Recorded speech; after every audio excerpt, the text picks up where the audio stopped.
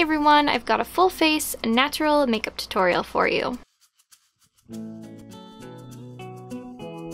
So this tutorial is my work slash school slash job interview natural but put in some effort look. We're priming the eyes with a Wet n Wild's Photo Focus eyeshadow primer, then jumping into the palette. This Tartelette in Bloom palette is one of my favorites. Great for a natural or smoky look. We're setting down the primer with Charmer to allow easier application of the following shadows. For the crease, we're sweeping on Jet Setter, a matte neutral brown shade. We're sticking with the matte shadows today. They're less fuss in the morning, at least in my opinion, and with mattes you don't have to worry about shimmery shadow flecks getting everywhere.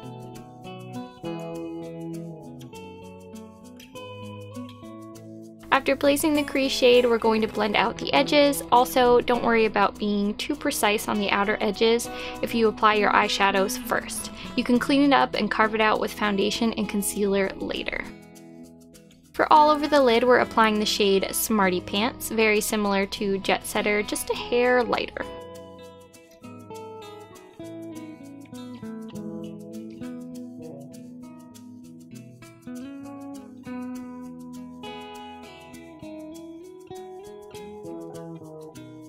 To add shape to the outer corners, we're applying Rebel, one of my favorite shades in the palette. It's a gorgeous warm brown.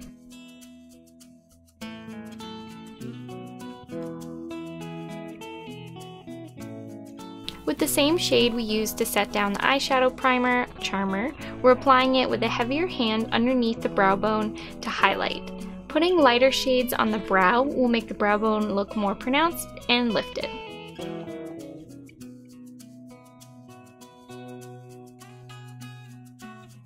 Then because I felt my crease shade was a bit too high, I grabbed Flower Child and placed some in the place between the crease and the brow bone highlight. A nice little trick if you need to tone down the crease. Flower Child also makes for a good inner corner brightener to open up the eye.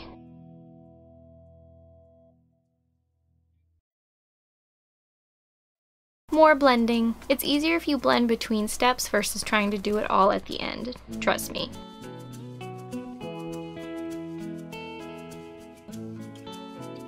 If you feel you need to deepen the outer corner like I did, then go for it. There are no rules, follow your instincts.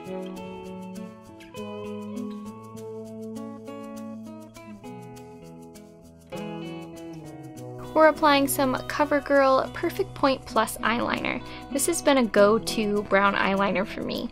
It's easy to apply, the color payoff is great, and it's affordable.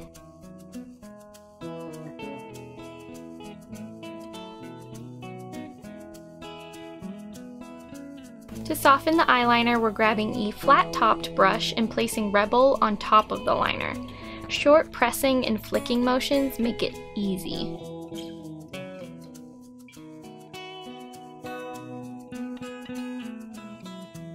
The face, we're grabbing Too Faced Hangover RX Primer. This is a wonderful hydrating primer. Being in a building without a lot of natural air circulation can really dry out your skin. So this, plus wearing moisturizer underneath, can help prevent your foundation from cracking. Make Up For Ever's Ultra HD foundation is one of my faves for long wear with a natural finish. It also gives really great medium coverage, which I like. It can be built to full coverage if that's more of your preference. I'm applying the shade R260 and using an EcoTools sponge to bounce it onto my skin. I talked about this sponge in last month's favorites video. I believe it was last month's favorites video. Check it out. Now when you have nights where you don't get a lot of sleep or just naturally have dark circles, an under eye brightener like this one from Urban Decay will really help. Since I'm fair, I like using the pink color correcting fluid, but if you have a deeper complexion, you might want to try a peach, orange, or red tone color corrector to brighten dark circles.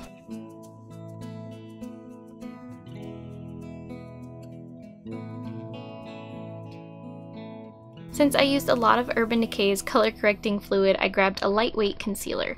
Maybelline's Fit Me Concealer is what I carry in my purse for minor touch-ups, which you may have seen in my What's in My Bag video. It's extremely blendable and more on the liquidy side, formula-wise. I think it's a great starter concealer because it takes a lot to make it look cakey. So those just getting into makeup can accidentally use a heavier hand and it won't look like too much.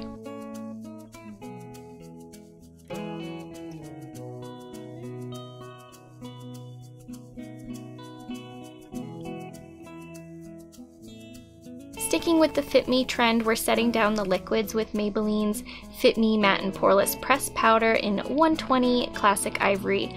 I use this a lot more when I was oily, but I still bring it out every once in a while because it isn't too heavy and doesn't make me feel dried out even if I'm not oily. Putting powder on over your liquids helps prevent creasing, keeps your makeup on longer, and creates a smoother base for things like bronzer and blush. I've been playing around with when I apply my brow products. Usually I fill in my brows as my first step, but I'm trying something different. When do you guys fill in your brows? This BH Flawless Brow Trio is so good. The powder smooths out with ease, and their spoolie brush works well too. It isn't scratchy like some spoolies can be.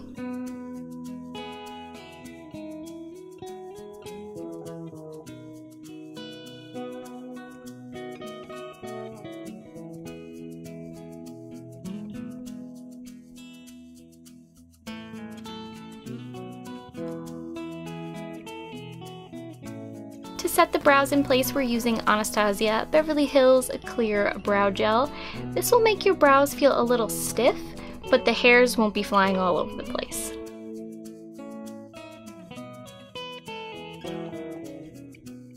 We're focusing back on the eyes before finishing off the face. For the waterline, we're lining with Rimmel Scandaleyes Waterproof Kohl Liner in Nude. You'll see me use this time and time again in the waterline to brighten. Then we're just grabbing Jet Setter and Smarty Pants and smudging some on the lower lash line to tie everything together. This is a much easier method than taking the brown liner down there. It's a lot softer and takes less time. Also, see how the foundation cut the outer corner of the eyeshadow? It's not as messy looking.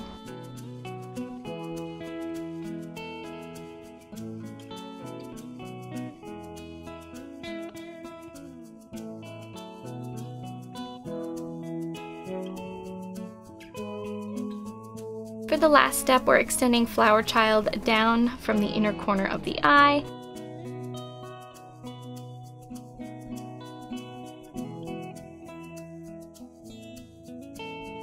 And to warm up the complexion, we're grabbing some NARS bronzing powder in Laguna on a big fluffy brush. This works great on fair and light complexions.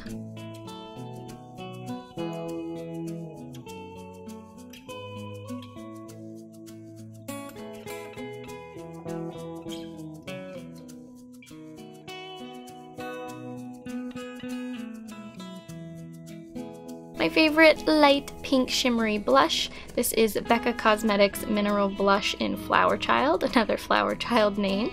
I find that Becca blushes last a long time on the skin. We're focusing it on the apples of the cheeks and blending back. I'm using a lot of favorites in this tutorial. I mentioned this lovely product in my highlighter collection video. It's a wonderful natural highlight that still has a shine. The highlight won't blind the people in your workplace, but it will still give you that beautiful glow. Place it anywhere you want to accentuate.